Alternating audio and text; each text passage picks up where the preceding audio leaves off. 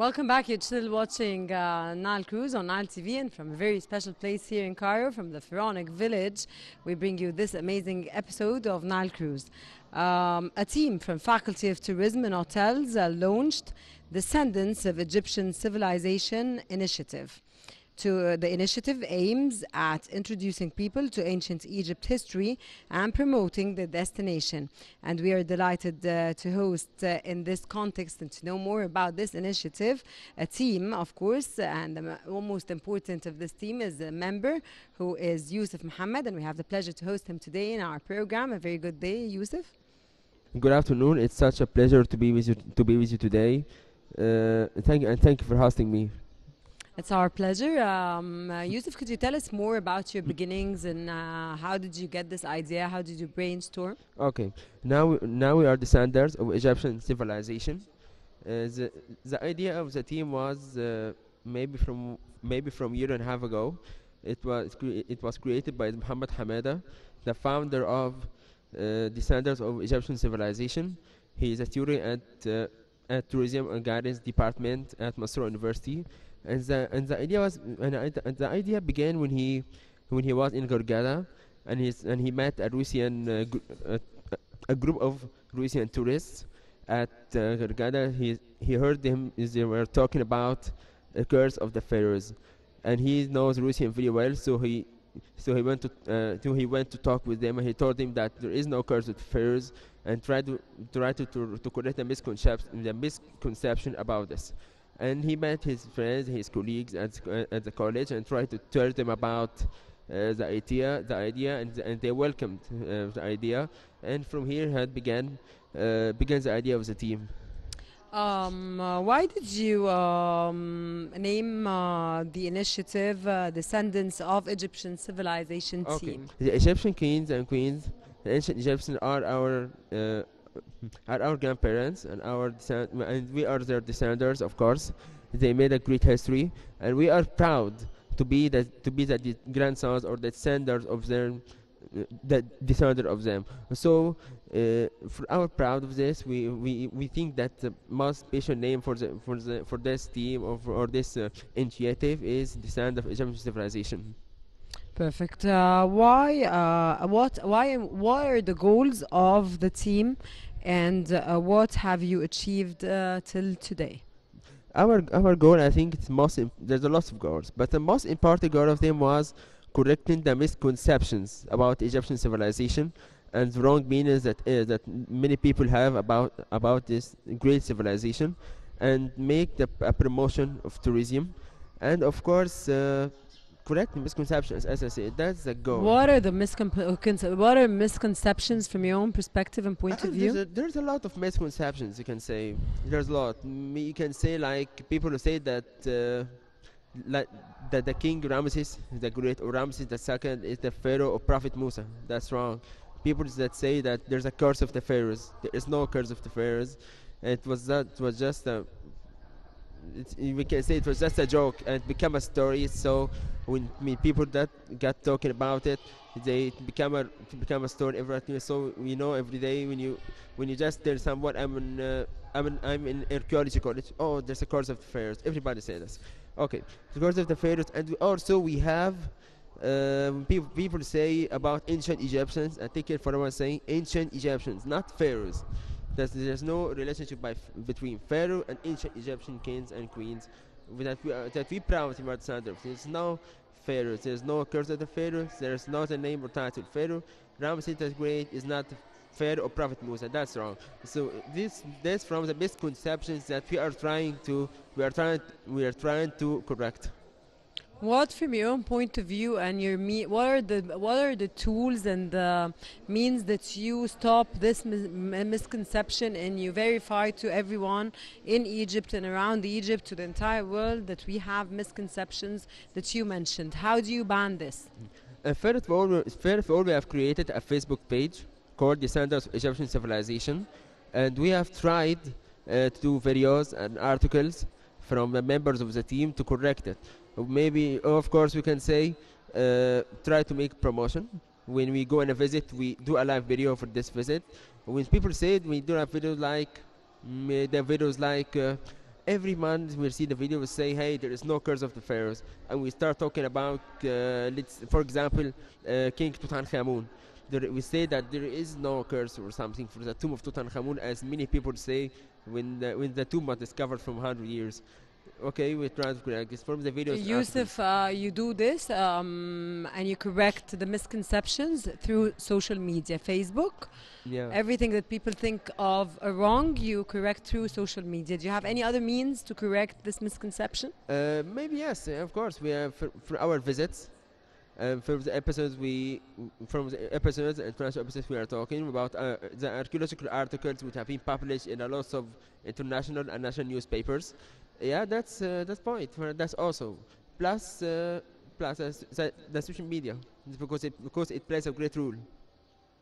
Okay, what are the goals of the team and what have you achieved till now? And what are the archaeological visits the team has organized uh, till today? There's a lot of archaeological visits, but How long have you been working on this? Um, from year and a half.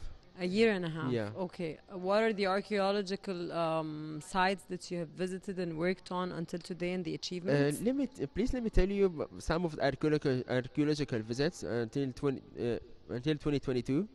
Uh, we have organized we have organized a visit to the Egyptian Museum, maybe more than 20 visits to Egyptian Museum, and an archaeological visit to Saqqara, the, the area of Saqqara, and uh, with a group of tour of tour guides and uh, and a different classes of people like uh, we can say uh, young and adults to just to spread archaeological awareness and also uh, get them to know more about Saqqara about and about all the archaeological area of Saqqara and every beautiful tomb and the pyramid everything everything there.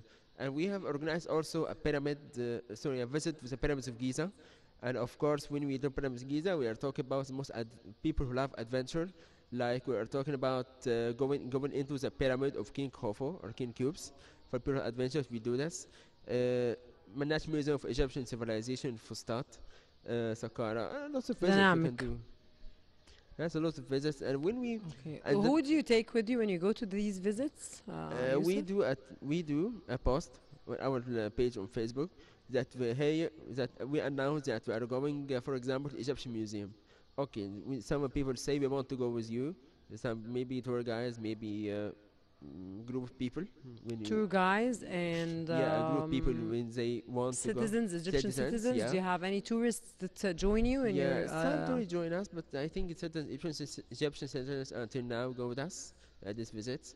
Uh, when we and when when, when someone can come to this visit, uh, we do a live video for the place of the visit. Maybe like Egyptian, we are going to Egyptian Museum.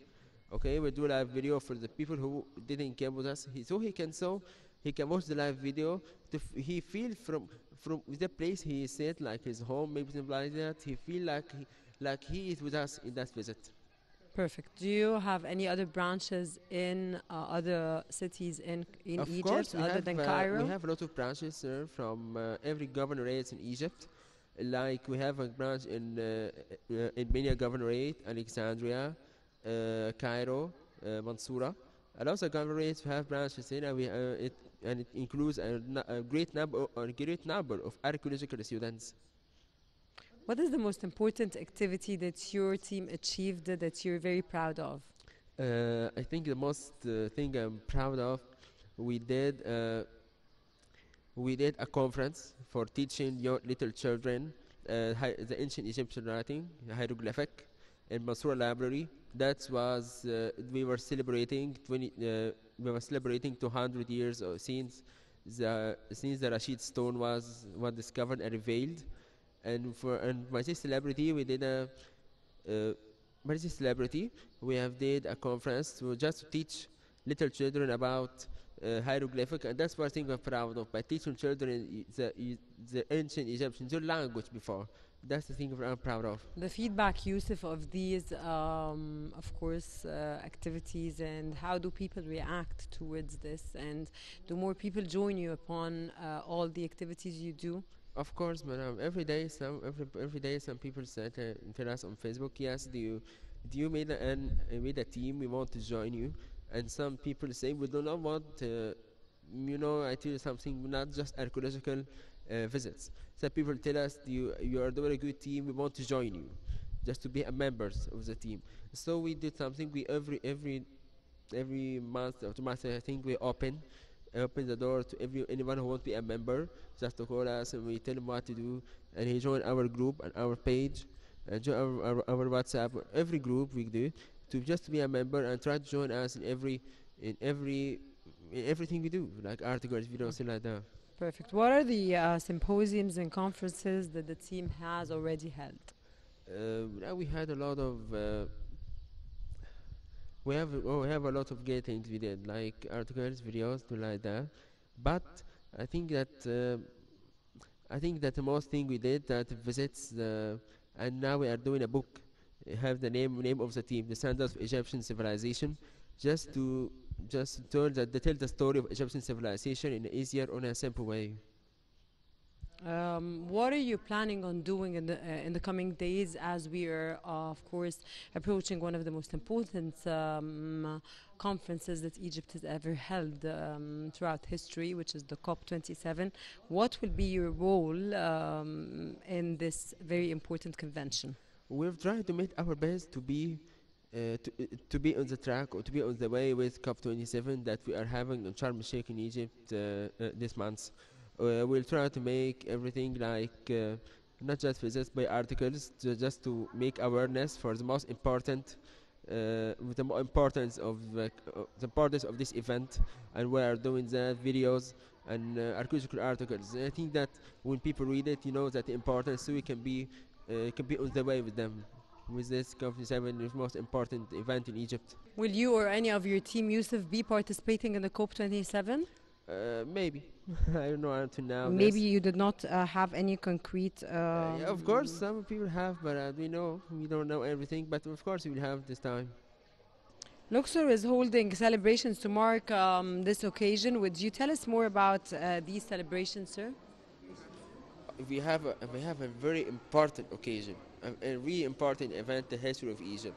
Tomorrow we are celebrating a hundred years since the discovering of the tomb of the golden boy, boy golden king Tutankhamun. That this tomb was discovered on 4th November 1922.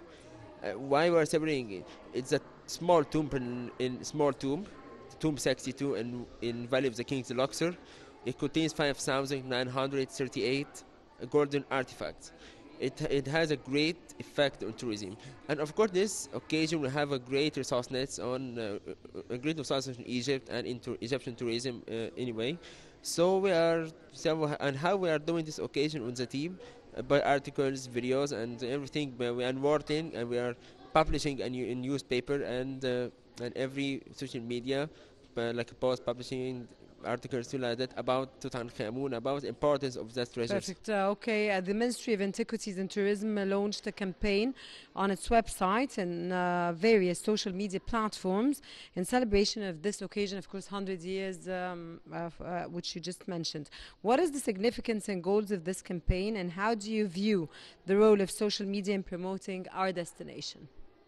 the social media social media plays an important role in in this events because we are talking about uh, we're not talking about an, an, an ordinary king we're talking about Tutankhamun or maybe you can say Tutankhamen that's a real name Tutankhamen has, is a great is an important king and this campaign on the on the page of the ministry uh, i- i- its its rule was trying to tell people everything about Tutankhamun every day since uh, since the beginning of October, the middle of October, I think, this year.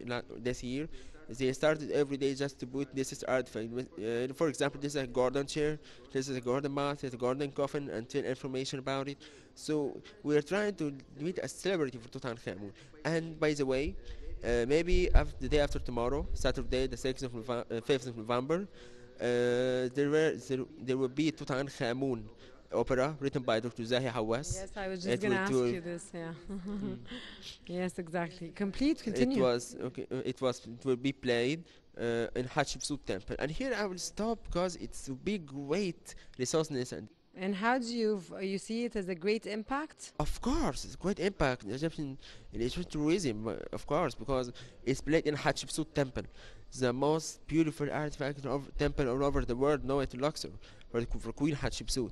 And we are saying um, we did say we did say the name again, Opera of King Tutankhamun. Okay, how do you see the opera uh, contributing in the increase of the flow of tourists? It will have in a this great context, of course. it have a great resourcefulness, of course, on Egyptian tourism, because if we are talking about uh, tour- tourism, we, do you remember? Do you remember, sir, when you when they made the Sphinx Avenue uh, in from Karnak to Luxor, yes, of course, to Luxor Temple yes. in 25 November was of the most 2021? important uh, events It that ha- took place here in Egypt. Of course, from from just from second day, 26 November, after the after the event by one day, all tourists was in Egypt, just to see how we do that Luxor Temple, uh, Luxor's the Luxor subway, railway, and uh, uh, Luxor airport. Airports of Egypt were were complete of tourists. That's that's what we want, and that's the goal of the event. Not just for tourism. It's goal of the event is to publish uh, archaeological awareness for Egyptians and every in everyone every television all over the world. Of course, uh, member of uh, the, uh, the Descendants of Egypt Civilization Initiative, uh, Mr. Yusuf uh, Muhammad. We thank you so much for joining us here on our cruise uh, from a very special uh, you, place here in Egypt, which is the Pharaonic Yeah, Village. please. Hope you work on it on you, in your own initiative. Thank you very much for joining us. Thank you very much for your informative. Uh, Thank you. knowledge. Dear viewers, you. this was the segment of Nile Cruise. Stay tuned. We'll be back again to continue.